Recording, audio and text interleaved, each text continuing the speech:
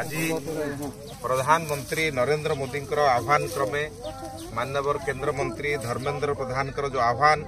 ଗୋଟିଏ ବ୍ୟକ୍ତି ଗୋଟିଏ ଗଛ ଲଗାଇବା ସେ କ୍ରମରେ ଆଜି ଆମେ ପହଞ୍ଚିଛୁ ଆସି କଟକ ସଦର ଖଣ୍ଡେଇତା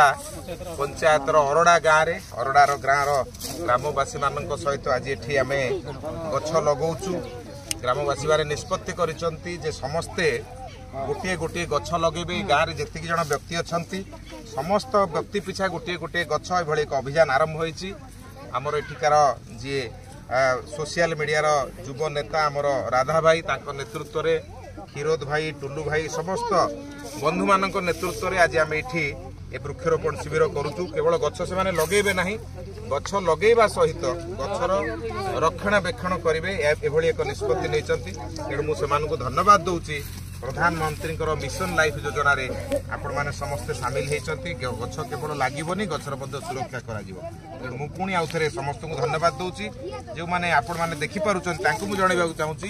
ই যোজনার আপনার সামিল হুঁতু এবং মিশন লাইফ যোজনার ধর্মেন্দ্র প্রধানকর আহ্বানকু আমি রক্ষা করে প্রত্যেক ব্যক্তি গোটিয়ে গোটিয়ে গছ লগাইবা